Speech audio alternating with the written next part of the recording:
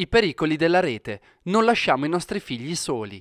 Un titolo da mille sfumature è quello che accompagnerà da giovedì 9 febbraio una serie di appuntamenti rivolti ai genitori dei cosiddetti nativi digitali, per disporre degli strumenti più adeguati da mettere in campo. Quello che andrà in scena nella biblioteca Braille di Baia Flaminia alle 20.45 sarà l'occasione per i volontari esperti di SIULP e UNICEF di dialogare su una problematica quotidiana con la quale gli adolescenti di oggi si trovano a loro insaputa a dover convivere. Estorsioni, video pornografici, cyberbullismo, violenza di genere, sessuale e sentimentale. In rete al giorno d'oggi circola di tutto e di più e proprio per questo il lavoro di SIULP e UNICEF da sette anni a sta parte è rivolto alle scuole con una serie di incontri volti a sensibilizzare chi in età sempre più tenera entra in contatto con la sfera digitale.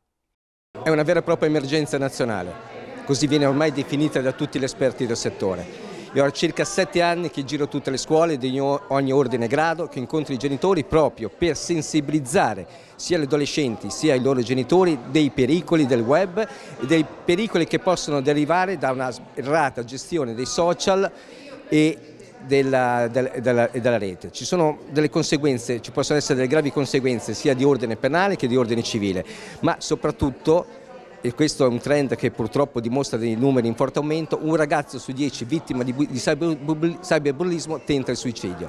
È un'emergenza veramente nazionale perché purtroppo i genitori non si rendono conto e spesso lasciano i loro figli liberi di navigare in rete e gestire i social senza nessun controllo e si, non si rendono conto quello che loro fanno, che, che fanno i loro figli in che territori vanno? In territori veramente pericolosi. La maggior parte degli adolescenti già a 9-10 anni hanno il cellulare hanno il cellulare e spesso sono lì senza nessun filtro, nessun, senza nessun sistema di parental control e sono quindi liberi di navigare. Guardate, un solo un esempio, le ultime statistiche dicono che l'80% degli adolescenti, l'80% è entrato in contatto con dei siti pornografici, molte volte con dei contenuti molto violenti. Ci sono gruppi di Whatsapp dove sono state poi veramente portate a termine importanti azioni di polizia, di investigazione della polizia postale gruppi di Whatsapp dove c'erano per dire 432 adolescenti che si scambiavano video di bambini, bambini di 3-4 anni violentati, di donne violentate, di animali seviziati.